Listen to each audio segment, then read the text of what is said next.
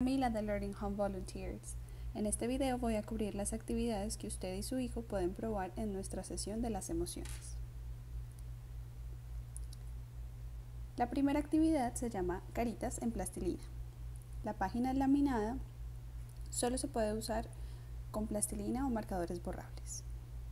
En su caja encontrará una hoja laminada con caras con diferentes emociones en la parte superior y una cara en blanco en el medio querrán mirar y hablar sobre cada una de las caritas.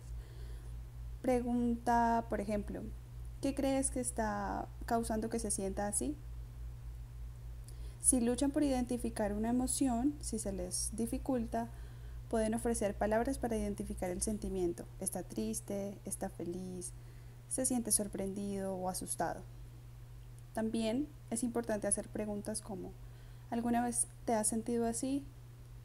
¿Crees que podríamos ayudarlos a recordar un momento en el que se sintieron así? El niño puede elegir una de las emociones para replicar con plastilina, como lo vemos en la imagen.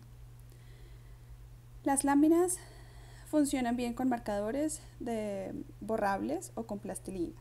Si su hijo usa marcadores lavables, crayones, bolígrafos o lápiz, no saldrá de la lámina laminada.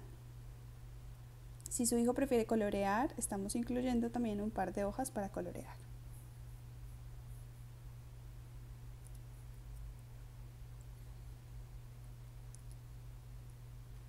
Caritas y sentimientos.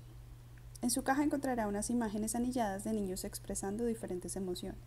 Los hemos incluido porque los niños están aprendiendo cómo identificar las emociones en los demás. Comience la conversación con el niño, con algo de contexto. Por ejemplo, esta niña está en una fiesta de cumpleaños. ¿Cómo ves que se siente? ¿O crees que ella necesita ayuda? ¿Qué podríamos hacer para ayudarla? ¿Qué harías tú para ayudarla? Estrategias para calmarse. Los niños y los adultos pueden ayudarse a sí mismos cuando tienen dificultades, especialmente si esto se planea con anticipación. Seamos realistas, habrá muchas veces en la vida en que su hijo estará molesto, enojado o triste. Y podría usar una de estas estrategias para ayudar a calmarse. Hemos incluido un conjunto de tarjetas de afrontamiento que proporcionan muchas ideas sobre cómo ayudarse a sí mismo o cómo ayudar a que su hijo se calme. El truco de estas cartas es permitir elegirles dos o tres que puedan usar para calmarse. Será encontrar un lugar tranquilo, colorear, respirar, cantar, escuchar música, ya veremos. Para hablar de esto menciono un momento en el que estaban teniendo dificultades. Por ejemplo, recuerden cuando en la fiesta de cumpleaños de Juan no pudieron ir primero en el columpio o no pudieron jugar con el juguete que querían, se enojaron y no pudieron calmarse. Se nos ocurrirán otras ideas para probar la próxima vez que esto suceda. Echemos un vistazo a las tarjetas y veamos qué creen que puede ayudar según la personalidad de cada quien. Una vez que haya elegido dos opciones, practíquenlas. Hagan preguntas como ¿cómo te hace sentir esto? ¿Esto te haría sentir bien? Ok, entonces la próxima vez que la estén pasando mal, le recordaré que pruebe esta o aquella idea. Cuando el niño tenga dificultades, recuerden que sus opciones son A, B o C. Probemos una o la otra o la última y veamos si esto ayuda. Estas estrategias requieren mucha práctica. Yoga. El yoga es una de las estrategias de enfrentamiento que se ha encontrado muy útiles. Se puede hacer en un lugar pequeño y se ha encontrado muy útil y agradable. Se ha demostrado que el yoga ayuda a aumentar la concentración en los niños, los ayuda a calmarse y a conectarse con cómo se sienten con sus cuerpos y sus mentes.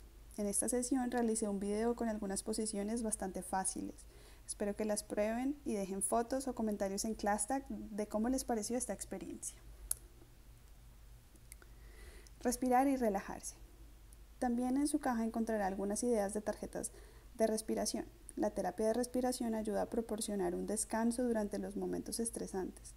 Hemos proporcionado diferentes ideas para ayudar a dar algunas formas de pensar sobre la respiración las dos estrategias que encontré más fáciles con los niños es la respiración del elefante y la respiración de las burbujas. También les dejaré un video de demostración para que lo puedan intentar con sus niños.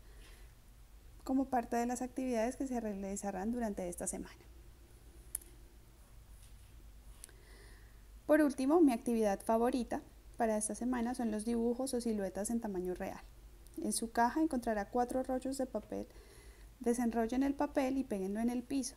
Haga que su hijo se acueste sobre el papel con las piernas abiertas y los brazos alejados del cuerpo. Haga que abran las manos. Usando un marcador, un lápiz o un bolígrafo deberán trazar la línea de su cuerpo. Hacer una silueta. Pueden colorear sus rasgos en el cuerpo. Él puede cortar eh, los ojos, el cabello, la boca o cualquier accesorio de alguna revista. También incluimos retazos de tela para simular ropa y vestirse pegando la tela sobre el cuerpo.